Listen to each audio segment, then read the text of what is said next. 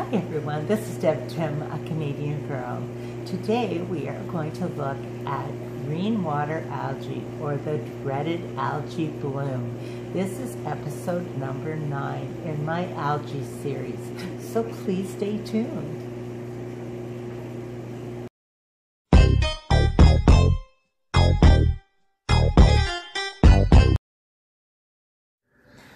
This is my 75 gallon mixed African cichlid aquarium. Have you ever been greeted by your aquarium water having a lovely green tinge about it? This is the first indication of a pending algae bloom. Green water is sometimes referred to as pea soup. The culprit that is causing this green tinge to your water is a free floating single cell algae. It develops at such a rapid rate that in hours it can turn your aquarium water green.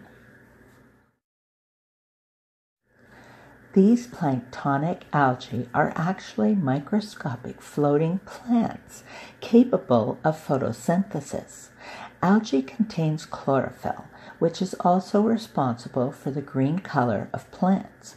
Chlorophyll is what allows plants and algae to absorb light and turn it into energy which they need to flourish. Oxygen is being produced through this process while your lights are on. However, at night when your lights are off, the algae will use up the oxygen from the tank as it's unable to create this energy without a light source.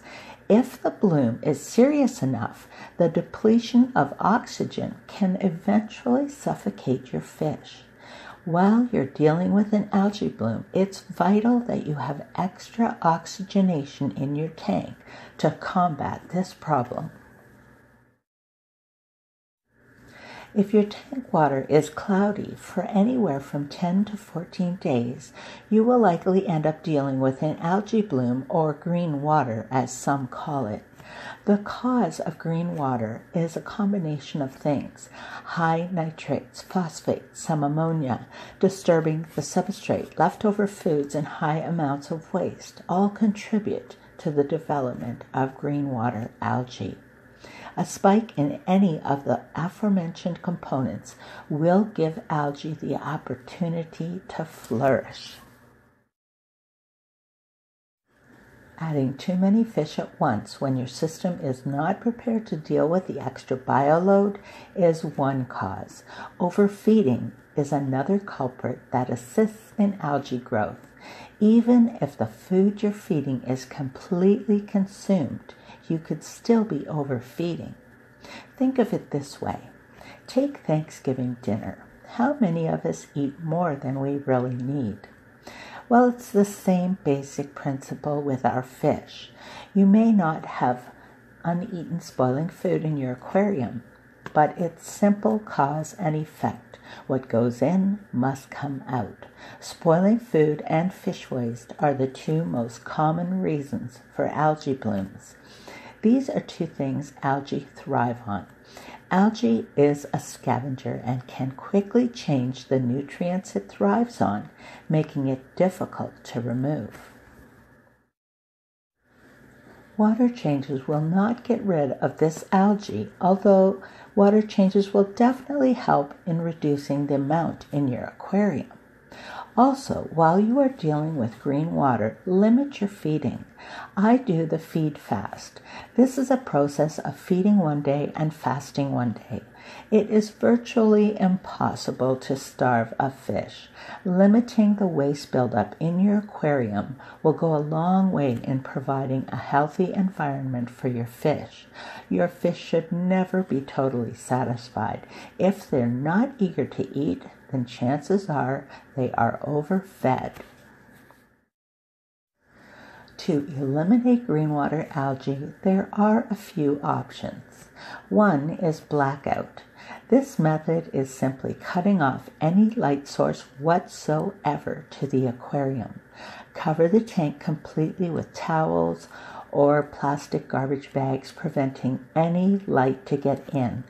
You will need to keep your aquarium covered for four full days.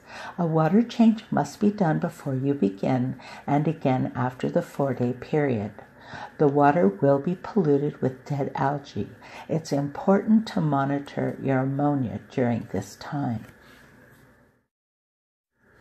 The second option is adding a diatom filter or water polisher to remove the algae. I have a polisher in each of my aquariums at all times. I will be sharing that on another video coming up soon. You will need to check your filter and change it often as it removes the algae.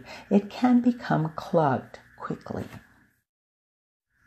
The third method is to add a UV sterilizer to your system. It will take care of free floating algae, microscopic parasites, and unwanted bacteria. The UV sterilizers are very expensive and do not remove the dead algae or decaying materials from your aquarium, so it's best to use an inline sterilizer.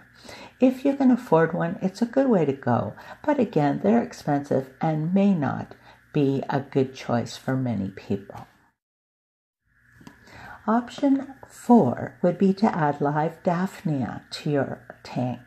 Although this is not always successful, as your fish may consume them before they have completed the job of eating the algae, the best way for this to work is to separate your fish and let the Daphnia do their job first. The fifth and final option is adding a chemical algicide. In using algicide, you should remove your fish. It may not kill them, but it can cause issues with their gill function and overall well being. I'm personally not in favor of chemicals of any form. Now, of these five options, I would go with the polisher myself. I've done that in the past and have found great success in using them. The most important part of providing a healthy environment for your fish is having a good maintenance routine in place. Weekly water changes are a must. 50% minimum in a non planted tank is crucial. You will need to decide what works best for you. We all know there are many variations from tank to tank and home to home. So everything that I share is in a general sense and may slightly differ from place to place. So until next time, this is Deb Tim signing out. Thank you so much for watching. I hope you're having a wonderful day. I hope your tanks are free and clear of algae, and I'll talk to you soon. Bye.